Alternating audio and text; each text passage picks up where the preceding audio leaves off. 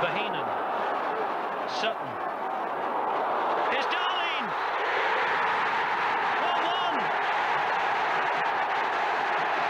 1-1. Wilcox takes over.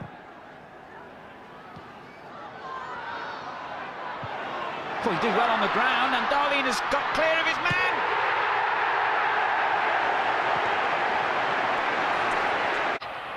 Trickery from Duff. Sherwood with the header. Dahlin, 1-0, Blackburn Rovers. Blackburn Rovers are running riot here at the moment. Here's Dahlin. Oh, good trickery from him. Perfect finish. His second goal of the evening. Dahlin, nice layoff to Duff, who's having to play on the right-hand side. It's a useful cross, that's Sutton, and this is Dahlin who waited and waited and scores.